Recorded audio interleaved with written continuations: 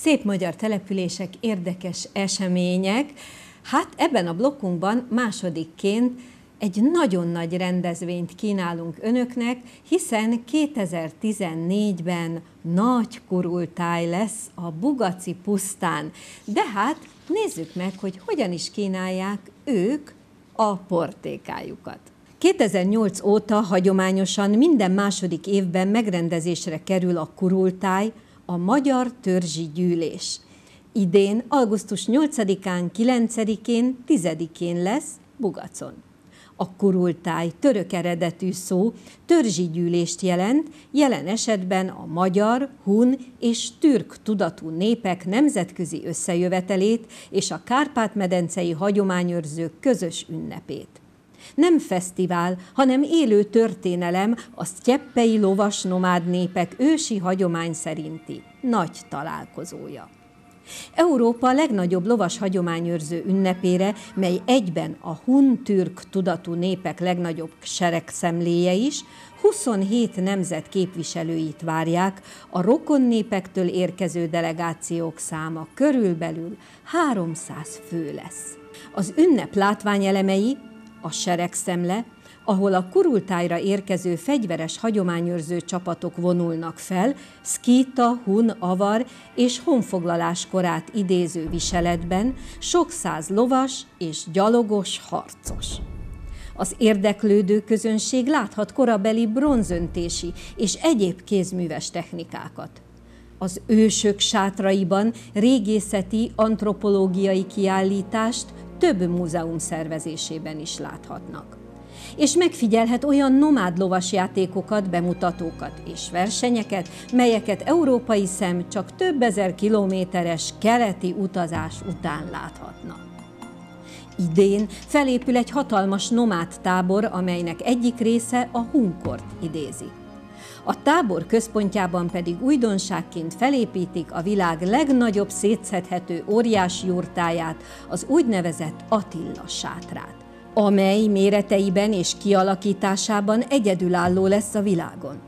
A több mint 20 méter átmérőjű és majdnem 7 méter magas óriás jurtában a hunkorszak elevenedik fel a Kárpát-medencében birodalmat alapító Attila nagyfejedelemnek állít emléket.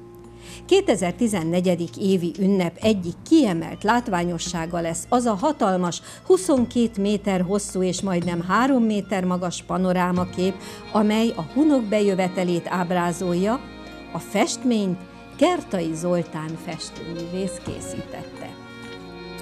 A tradicionális terep verseny mellett lesz együttlövés, azaz nyílzápor, ahol több száz íjász nyílzáport zúdít a pusztába, a programhoz minden látogató csatlakozhat, akinek tradicionális íja van és a magyar hagyományokkal összeegyeztethető ruházatot visel.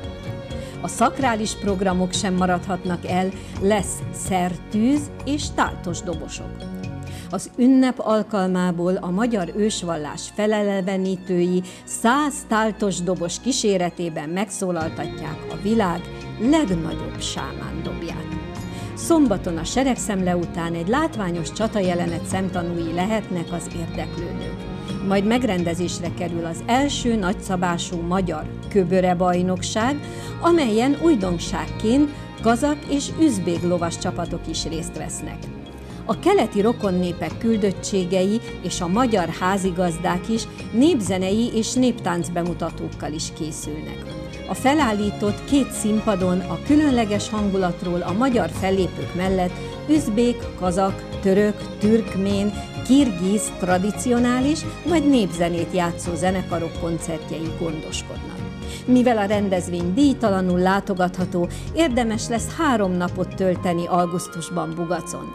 Ennek érdekében a rendezők egy melegvizes zuhanyozókkal ellátott kempingtábort alakítanak ki, ahol minimális díj ellenében bárki sátorozhat e három napban. 2014. augusztusában a magyarság és a rokon népek képviselői ismét együtt emlékeznek dicső őseikre, újra találkozhatnak a távoli testvérekkel. A további meglepetésekről folyamatosan kaphatnak tájékoztatást az érdeklődők a Kurultáj honlapján, www.kurultáj.hu és a Facebook közösségi oldalán ugyanezen a néven. Kedves nézőink, menjenek el, hiszen mikor találkozhatnak ennyi távoli rokonnal együtt egyszerre.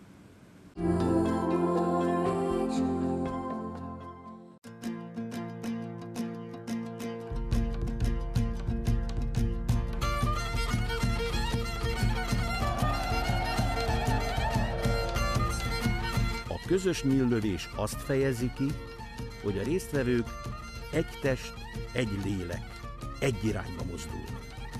Az erő az összefogásban van.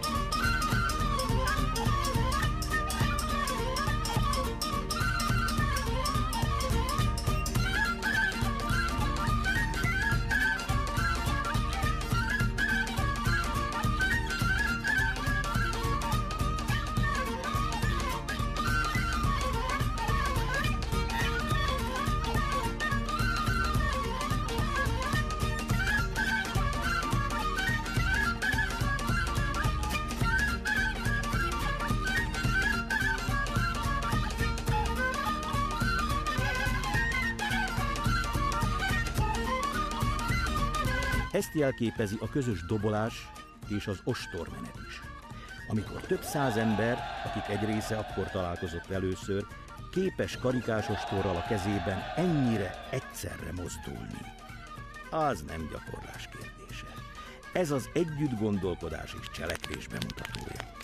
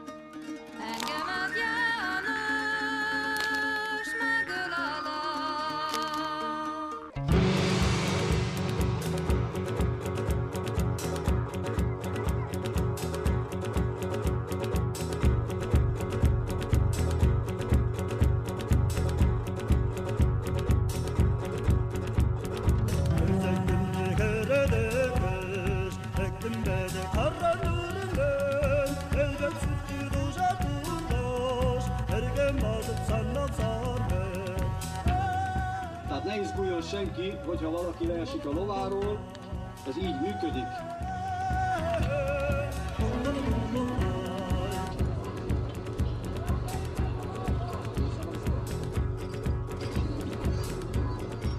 Hölgyeim és Uraim, itt döntő részében kistermetű lovakat láthatunk a lovasbirkózás ideje alatt. Uh, Konyik, Hucul, illetve Sevalszki típusú lovak vannak itt a döntő részében. Ezekről a kicsi fajtákról azt kell tudni, hogy ezek az eredeti lótípushoz leginkább hasonlítóak. A hátukon egy fekete szíjalás látható. Magyarországon az Akteleki Nemzeti Parknak a Jósfafői ménese az, amelyik hozzájárult ahhoz, hogy lovai részt vegyenek itt a helyszínen. Ördög András tenyészete szintén, dr. Magyar Gábor tenyészete. Közben a felvonulásnál felmérik egymást a harcosok, kiki kiválasztja a párját, és aztán kőkeményen elindul a birkózás. Ugye addig tart egy-egy pár küzdelme, amíg valamelyik lovas a földre nem hüppen, hüppen. Minden lehetséges lovat nem bántunk, az embernek füle farka fogható,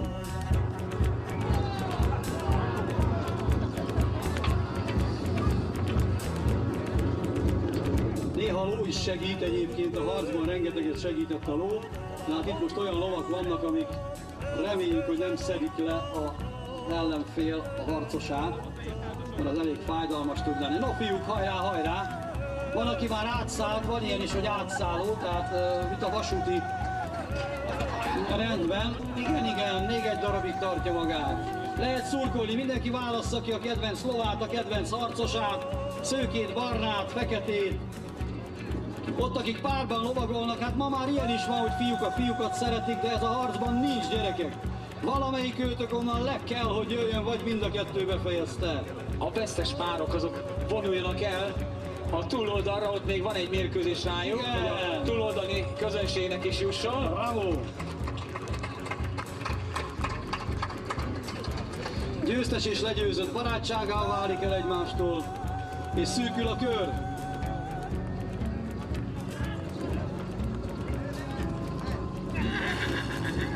Igen, megvan. Na még egy páros nem bír magával.